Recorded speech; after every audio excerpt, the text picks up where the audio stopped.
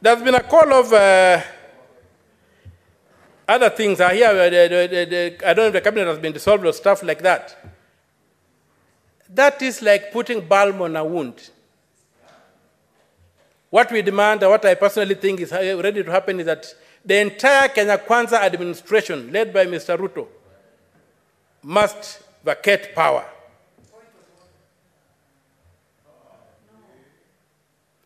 The call that Ruto must go is not an idle call, it's a call whose time has come. It's a call whose time has come. Mr. Ruto told us that criminals were on the streets. He has not produced a single criminal. You cannot be told lies every day. Senator Omtatah, Yes, Mr. Speaker. just have your seat. I made myself very clear on how we are going to conduct ourselves during debate on this motion. Inasmuch as much as we suspended points of order, I said let us be responsible in the way we debate and let us be factual. You cannot call the president Mr. Ruto. This is not a Kamkunji, this is the Senate of the Republic of Kenya. Proceed. Okay, I can call him Dr. Ruto. And, Senator president, and President Ruto, I'm finishing. Dr. Ruto, His Excellency the President. Proceed. But he never ceased being a minister, so all those titles are called, are, are, apply to him. If my English is correct. So I'm demanding that President Ruto vacates office as the most only honorable thing to do. He's unable to balance our budget. It has collapsed. Everything around him is collapsing. He's, uh, so you cannot say that his juniors should bear the burden. The ball stops with him, and the call that President Ruto must go is a call that must be applied. And as they say, a fish begins rotting with the head.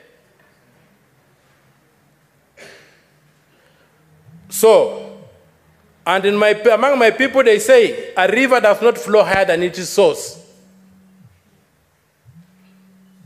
And when you look at the sun, you must blink. Justice is crying out. Our children have died. Something that has never happened in this country. The president has called them criminals. And the president cannot continue sitting in power when the children have died. And he said, You do anything at whatever cost. When the Constitution says you can't do anything at whatever cost. So, my call is to associate my voice with those who are saying that the president vacates office. There's no room for all these things we are doing here, and we start off with a new, a new slate. Mr. Speaker, sir, anything less than that will not avenge the blood that has been spilled on our streets. A street that is hallowed, a street that is recognized in the Constitution as an arena for engaging politically.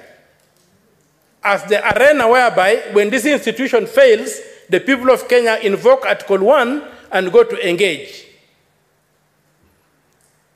When you desecrate such a venue, you don't do anything. There's not even a call that these things should be investigated. Instead, they're trying to say that we go and have dialogue to assuage, to see, I don't how to distort what is happening, to do whatever, to see how.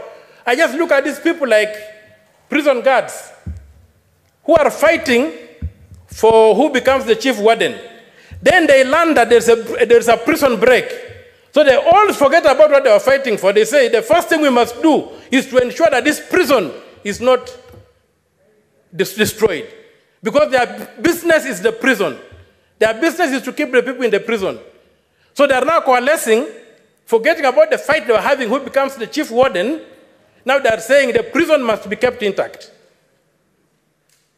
We are not going to allow that. This country has moved. The government that has to govern this country must govern by law. And, Mr. Speaker, sir, I reiterate my words that if really the president values this country, he should do the honorable thing, fall on his sword. President Ruto, fall on your sword and retain, if you have to retain any order, and retain any Well, one minute, you wind up your thoughts, uh, Senator Mtata. Just one minute. Mr. Speaker, thank you. What, what, I was, what I was saying is that, like in the old days of the Roman soldiers, when they felt that they had brought dishonor to the country,